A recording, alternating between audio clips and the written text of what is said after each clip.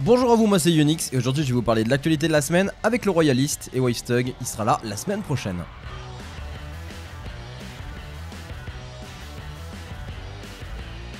Ça fait un bout de temps qu'on n'avait pas fait de vidéo sur l'actualité de la semaine, donc c'est de retour. Et cette semaine, je vais vous parler de tous les événements qui ont lieu récemment. Il y a eu notamment le Gotaga Show Barrière avec la victoire de Robbie et sa demande en mariage à la structure Vitality. On va parler aussi des Power Gaming Series de Mulhouse. On va parler des prochains événements qui auront lieu en France, mais c'est pas pour tout de suite. Mais on va quand même en, discuter. On va parler de la Unix Cup 2 qui s'est finie récemment. Et on va parler du terrain de jeu qui va disparaître. Mais attendez, on va en discuter.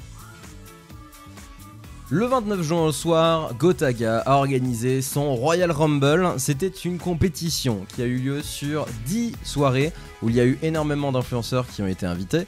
Et on a eu donc nos finalistes qui ont participé à ce Gotaga Show Barrière. C'était sur la jetée du lac d'Anguien-les-Bains avec une scène magnifique sur l'eau pour l'événement, il y avait plus de 8000 spectateurs sur place et 250 000 viewers en live. Plus de 32 420 euros récoltés pour les associations. On a vu s'affronter Robbie, Tixi, Skyheart, Kinstar, Mikalo, Nems, Gotaga et Yuna. Et au final, c'est Robbie qui s'est imposé grand vainqueur de ce Royal Rumble. Un très bel événement qui s'est clôturé par une demande de Robbie de rejoindre la structure Vitality. Eh bien, nous verrons ce que ça va donner plus tard. On a hâte de voir ce que va devenir la scène compétitive de Fortnite durant les prochains mois. Maintenant, on va passer aux Power Gaming Series qui se sont déroulées à Mulhouse. Le tournoi s'est déroulé le samedi 30 juin et le dimanche 1er juillet. On a l'équipe Unno qui a gagné face au Serve, au Reflex, à Delta Horizon, toutes ces équipes. Je vous laisse le tableau ici. Et donc, un, parmi les Unno, on a deux anciens de Serve qui y participaient. Donc, au final, il y a quand même beaucoup d'Oserve dans le tableau.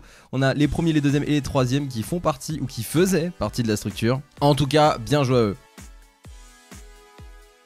Avec sous ces tournois, on a eu aussi un tournoi en ligne qui s'est organisé récemment, qui était la Unix Cup. Donc c'est moi qui l'organisais. Ce tournoi était un tournoi en duo avec 1700 euros de cash price, sponsorisé par Shadow. Après 5 semaines de qualification, plus de 240 duos participants. Sur la finale, en BO6, nous avons les Genside 3 qui se sont imposés en tant que grands vainqueurs. Genside 3 composé de Nyx et Froragix. Ensuite, les deuxièmes, c'est Genside eSport Club. Donc les Genside qui ont fait une grosse perte Hein, sur ce tournoi avec The Vic et Madzen. Et en troisième position, c'est Seven Project avec DRG et Ibuzen. Et malheureusement, Solari B qui sera arrivé quatrième avec Hunter et Airwax. Et ça s'est joué à peu de points quand on regarde le classement. Supremacy qui était pas loin derrière non plus. Je vous laisserai tous les liens pour aller voir les résultats, les événements dans la description. Vous pouvez tout aller voir. Vous pouvez aller vous renseigner directement. Maintenant, on va parler des prochains événements qui auront lieu en France, mais ça va être plutôt calme jusqu'en décembre où on aura le SWC à Metz. Et il y aura peut-être un tournoi à la Paris Games Week aussi, mais on n'est pas rendu.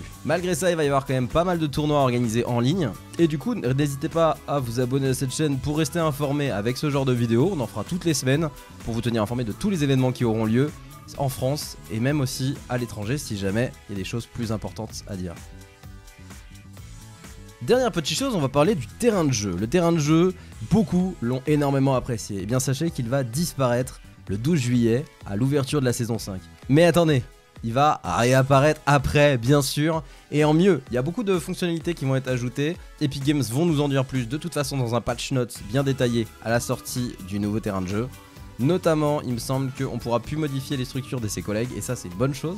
En tout cas, moi je vous donne rendez-vous la semaine prochaine pour parler de pas mal d'événements. N'hésitez pas à mettre dans la description si vous avez des événements euh, qui se sont déroulés et dont on n'a pas parlé. Et eh bien peut-être qu'on en parlera la semaine prochaine, donc n'hésitez pas à mettre ça dans les commentaires. Et je vous laisse avec le Royalist qui va faire la suite de l'actualité. Eh bien bonjour à tous, j'espère que vous allez bien. Pour ma part, nous allons parler de la fusée et des dégâts collatéraux qu'elle a pu causer. Comme vous avez pu le voir, le samedi 30 juin à 19h30 exactement, il y a eu le décollage de la fusée qui a causé vraiment pas mal de dégâts sur la map. Voyez déjà la petite animation qu'il y a eu avec cette fameuse fusée.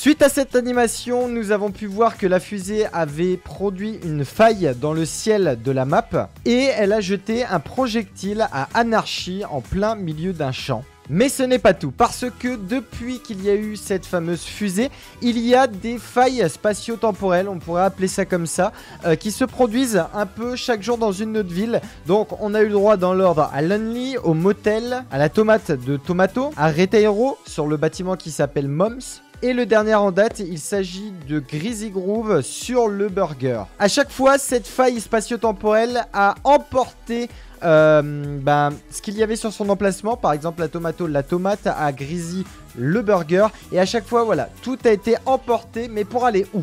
Dans la YouTube sphère, il est dit que ce serait pour laisser place à l'Egypte, aux dinosaures, aux super-héros. On ne sait vraiment pas à quoi s'attendre, mais ce que l'on sait, c'est que c'est à nous de trouver un petit peu les petites astuces, les petits indices qui vont nous permettre de détailler. On va, on va devoir jouer les inspecteurs, en fait, tout simplement, comme l'un des précédents skins qu'il y a eu sur Fortnite, pour trouver ce qu'il va y avoir dans la saison 5. Et alors là, ma question, c'est selon vous, que va-t-il y avoir dans la saison 5 Eh bien, merci d'avoir regardé cette vidéo. N'hésitez pas à vous abonner à la chaîne officielle de Fortnite en France pour avoir toute l'actualité sur Fortnite, les news des devs, les trailers des nouveaux modes et tout ça en français. N'hésitez pas à activer la cloche aussi et à regarder un petit peu la description pour nous suivre tous sur nos réseaux. Vous avez toutes les références de ce qu'on a parlé durant cette vidéo dans la description. N'hésitez pas à aller regarder d'autres vidéos sur la chaîne. A bientôt